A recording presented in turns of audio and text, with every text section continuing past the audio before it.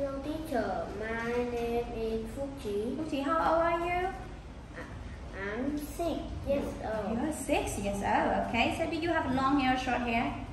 Short hair. You have short hair. How many people are there in your family? Four people. Who are they? Me, daddy, mommy, baby, And a baby, a baby boy or baby girl? boy. Baby boy. Wow. Okay.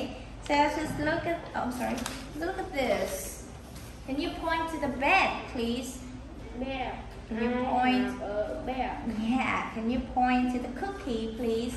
I am a cookie. Do you like cookie? No, You don't like cookie. And can you point to egg?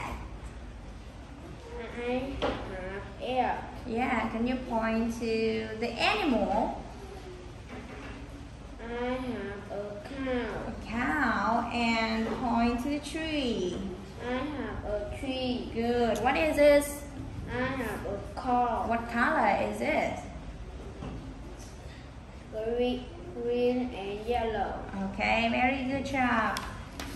How many beds do you have? I have two bears. Good. And how many cakes do you have?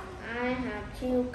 Good. Can you point to the small car, please? I have a small car. And can you point to the big car, please? I have a big car. Great job. And the last picture, can you tell me what does she have?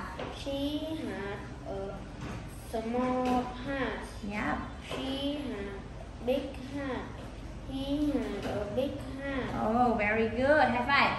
Yeah, and you did very well. Can you say goodbye? Goodbye teacher. See you. Goodbye. See you.